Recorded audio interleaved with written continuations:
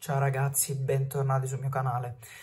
Seguiamoci questi ultimi minuti di Lecce Frosinone, due pari, appena pareggiato Novakovic, come cavolo si chiamava, leggermente oltre la linea dei difensori. Partita sofferta, devo dire la verità, nonostante fossimo in vantaggio 2-1 fino a 5 minuti fa, nel primo tempo va in vantaggio il Frosinone con in seguito a un calcio di rigore procurato da, mh, mm, diciamo, per un fallo di Ajapong penso ci sia stato un incrocio di gambe mm, tra lui e l'attaccante. Intanto sto rivedendo il gol, guarda, ma come si fa? Come si fa? Ah, poi è anche fortunato il Frosinone in questo caso, eh? In questo caso.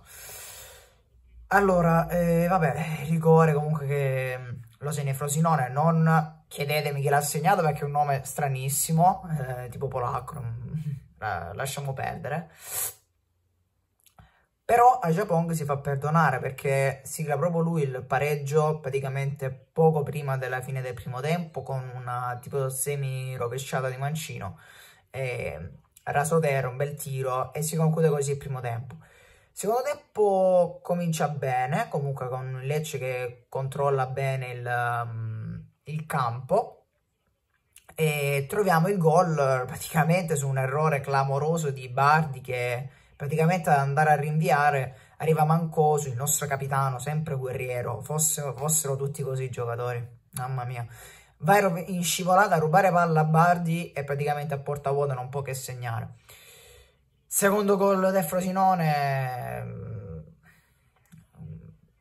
è meglio che non mi esprimo. Secondo me è un errore difensivo, credo di Calderoni. Non, non, non ho visto bene le immagini e praticamente Novakovic si trova il pallone là, ripeto, era leggermente, ma parlo proprio di qualche centimetro in là, ma ragazzi, la VAR bisogna assolutamente introdurla, perché non è possibile che comunque la Serie B è un campionato d'alto livello, e in Serie B accadono moltissimi di questi episodi, secondo me la VAR serve molto, perché praticamente fino diciamo, a questo inizio di stagione Mamma mia, che parata che ha fatto Bardi sul mancoso!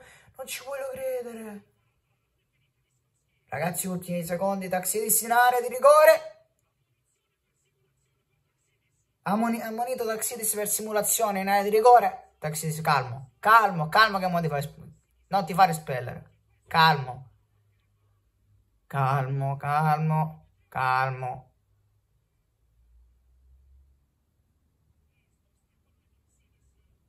No, no, no. Non c'era fallo qua. Guarda che cavolo di parata che ha fatto Barti su Mancoso.